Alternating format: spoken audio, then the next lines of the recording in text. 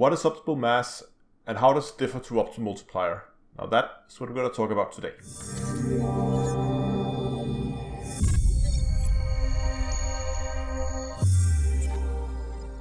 Hello ladies and gentlemen and welcome back to Elite Dangerous with Down to Earth Astronomy. Today's video is going to be a little bit more technical, so uh, get yourself ready.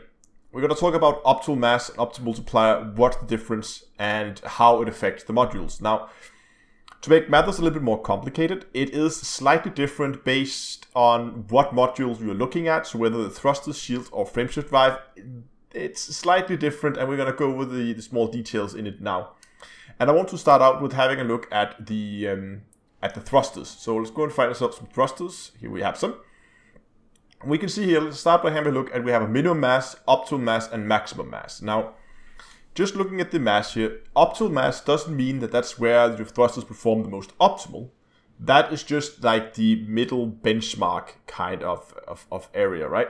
The minimum mass, again, doesn't mean that if your ship is lighter than your minimum mass, they won't be able to use the thrusters. It just means that if your ship mass drop lower than your minimum mass on your thrusters, you're no longer able, you no longer gain any benefits because at this point you are already at your maximum multiplier.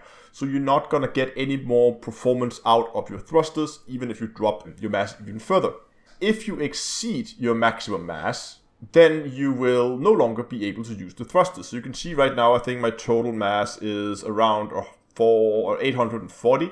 So if I go in and I try to find some thrusters, we can see here that 4A thrusters will not um, will not be able to do it because the maximum mass here is less than the mass of my ship even after this is fitted.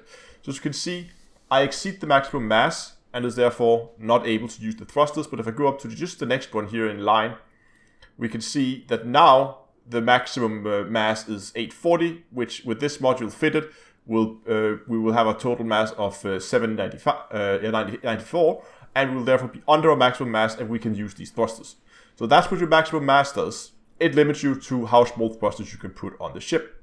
Remember also, if you are close to your maximum mass, you will get the minimum multiplier. Now, the multiplier exactly how there is some kind of mechanic it, it's, it's not like you're gonna if you're gonna go from optimal mass and drop down to your minimum mass you are you're only gonna gain 16% extra speed i'm pretty sure there's some additional um, math happening behind the scene here but overall it gives you an idea about the spread and you can of course then use these values to compare different sets of thrusters.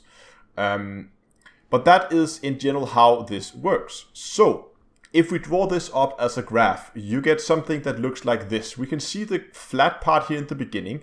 That is because that's what we get under our um, our minimum mass. In, in that case, we will no longer be gaining any benefits from lowering our mass any further. That's why the start of the graph is, is flat. After that, it seems to go um, to, to reduce exponentially all the way out to the maximum mass, after which, of course, it will stop because it can't really go any further. So if we were, let's say our ship is um, located here on this graph, if we wanted to get more speed, more maneuverability, we could either increase the maximum multiplier or we could increase the, um, the optimal mass, which would essentially shift the whole graph sideways. And as you can see, if we kept our mass constant, that would also cause the um, our overall um, uh, performance of the ship to um, to be better. But again, it, it's not always clear which is better than the other. It really is that depends on the specific case. So you have to go and test it and try it out. Of course, another option is also just to lower the mass and then we'll move down the graph and also get um, get better performance. As long as we don't go lower than our uh, minimum mass, because at that point we don't really gain anything extra from it. Moving over to shields, we can see that now we have the minimum hull mass, optimal hull mass, and maximum hull mass. And that is because in when it comes to shields, it's not the total mass of your ship, it's only the mass of the base hull. So modules are not included in when uh, calculating shield strength. And again, your ship has a base shield value, so like a base amount of shield you will have. And then based on, the graph is pretty much identical to, uh, to what we saw before. Again, if you drop under your minimum hull mass, you won't get any extra benefit. You won't get any um, um, yeah, so if you if your ship for that given um, shield generator is under the minimum hull mass, you don't really gain any benefits lower than that. But since you don't really can't really adjust the hull mass that much, then, then it, it's a little bit more um, more difficult. But at least that is how this uh, that's calculated. And you can also see here now we have the minimum strength, optimal strength, and maximum strength, and the multipliers here is um, how big of a, of a difference you gain compared to your base strength of, uh, of your shield. Um, also, just keep a note here that in the, in this case, um, the maximum hull mass is 2.5 times the uh, optimal hull mass rather than the 1.5 that we saw on the thrusters. So there's a small um, small difference there. So, uh, so do keep that in mind. So again, we can't really adjust our mass of the ship that much, but we can of course change these numbers with engineering. So just as with thrusters, we can't really say which either of the two is is the best. Uh, it really just depends on what engineering modifications you are you're putting on your ship. So again, try and error, find a, a site and try to, uh, to to fit it on there. Um, but let's move on to the last one, which is again different from the two others, which is the frameshift drive. So here we have a frameshift drive, and this time it's not called optimal mass, it's called optimized mass, just to make the confusion complete.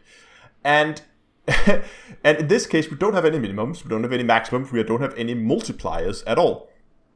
And that's because the way it is calculated when it comes to frameshift drive is different from the two others. Of course, the reason why there's no min and no max is because you can go down all the way to zero um, tons of mass and you would keep getting an increase in jump range all the way down to um, to the minimum mass, um, or to, all the way down as far as you could go. And also, there's no maximum mass. You could put an as small frameshift drive on a ship as you wanted to. So I could go in here, I could browse. You can see even on a, on a medium ship that weighs, well, 800 uh, tons, I could put a 2E frameshift drive on if I wanted to, because there is no maximum mass that it can handle. Um, of course, my jump range wouldn't be very good, but um, that is basically because I don't think we can we. Yeah, we can see here the uh, optimized mass is 48 tons, and the way it is calculated when it comes to um, to frameshift drive is again your ship has a base um, jump range, and you then take the optimal mass and you divide it by the ship mass. So if your ship um, is exactly the same as the optimized mass for the frameshift drive that you're using, then you will be able to jump your base jump range. But if your mass is only um, half of what your optimized mass is, you'll be able to jump twice your base jump speed. So that means that the jump range and the mass is related. So the jump uh, the jump range is related to one over the mass. Um, so that means that the graph we looked at before will now look something like this. And again, we can see that the further down we move, the more benefit we get from um, um, from having um, from having lower mass. So that's why you would would see these uh, contests where you really try to squeeze out every single ton out of this because as lower you go, the more benefit you gain per ton. But of course, it's also more and more difficult to shed weight the lower you go. So it's kind of balanced itself out um, like that. I want to add a note here if you're using Guardian FSD boosters, those add a fixed number. So after you've done your range calculations um, with the um, formula shown here on screen, then afterwards you add the static bonus for um, um for the FSD booster. They have no effect on, they're not affected by mass in any way, just give you a flat increase to your jump range. If you found this video useful, please consider becoming a Patreon and support the channel more directly so I can keep these videos coming to you.